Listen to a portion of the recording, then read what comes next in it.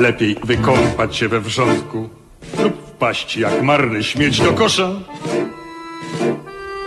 niż dobiegając sześćdziesiątki nie mieć w kieszeni ani grosza.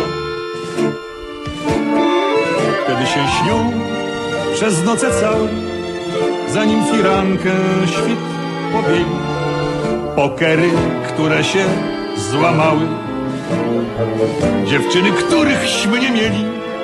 I wtedy zdarza się nierzadko w emerytury szare dni, że dziarskim sześćdziesięciolatkom marzy się ostre, marzy się ostre, marzy się ostre. Ryfifi.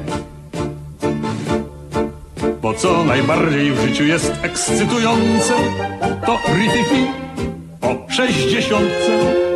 I nic z takich wrażeń nie dostarczy ci, jak po sześćdziesiątce, jak po sześćdziesiątce, jak po sześćdziesiątce. Rififi. Masową ogłuszony pieśnią, nie oszczędzałeś się kolego. Lat harowałeś kilkadziesiąt i co masz z tego? Co masz z tego?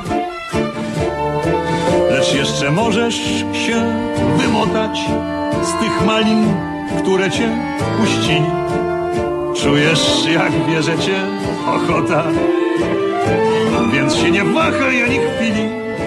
Zobaczysz, wszystko pójdzie gładko, rozprujesz bank, osiągniesz cel, by mieć godziwszą z tym dodatkiem emeryturę PRL. Co najbardziej w życiu jest ekscytujące, to rypifi po dziesiątce i nic takich wrażeń nie dostarczy ci, jak po sześćdziesiątce, jak po sześćdziesiątce, jak po sześćdziesiątce. Rififi. Szara cię nuda nie zasmuci, dolegliwości zniknie masę.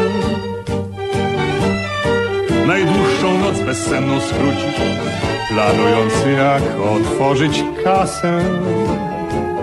Wspomoże twoje przedsięwzięcie, kolegów stawka doborowa, bo gdy moralność jest na ręcie, staje się znacznie mniej surowa.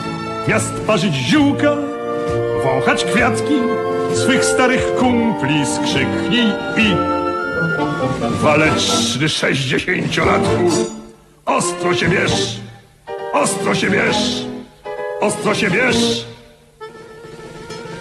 Do ryfifi. To co najbardziej w życiu jest ekscytujące, to ryfifi po sześćdziesiątce i nic takich wrażeń nie dostarczy ci, jak po sześćdziesiątce, jak po sześćdziesiątce, jak po sześćdziesiątce.